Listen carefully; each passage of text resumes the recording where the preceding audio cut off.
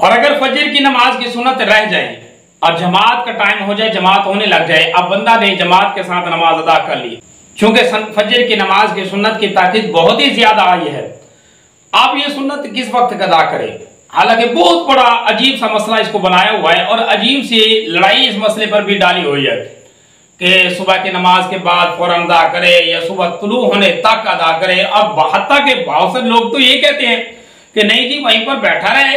जब तक ये सूरज तुलू नहीं होता, सूरज तुलू होने के बाद नमाज़, दो रकात नमाज़ जो सुन्नत इसकी रहेगी, वो अदा नहीं करता, उस वक्त ये जा ही नहीं सकता। हालाँकि दीन के अंदर बहुत सारा गुलू कर लिया ये पता नहीं मसला कहाँ से लेकर आए, खुद साफ़ ये मलाए और मसले हैं।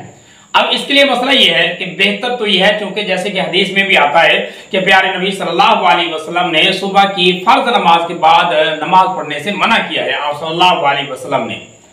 और ये भी हदीसों में मिलता है कि अलैहि वसल्लम के सामने सहाबा ने फजर की नमाज़ के बाद नमाज़ सुबह के बाद, उसी जगह पर खड़े होकर नमाजें पढ़ी हैं। अगर कजा हो या सुन्नतों को कोई भी नमाजें पढ़ी है और आप सल्लल्लाहु अलैहि वसल्लम ने देखा भी है। और आप सल्लल्लाहु अलैहि वसल्लम ने मना नहीं किया। इसको कहते हैं हदीस तकरीरी। इस तरह की हदीसें भी हदीस के कुतुब में मिलती हैं। और ये तो बिल्कुल इख्तलाफ मसला है कि अगर कोई बंदा नमाज़ सुबह के बाद कजा नमाज़ पढ़ना चाहे तो कजा नमाज़ पढ़ सकता है। ये तो बिल इतफाक मसला है। सुन्नत नहीं पढ़ सकता या नफल नहीं पढ़ सकता। इसमें इख्तलाफ है।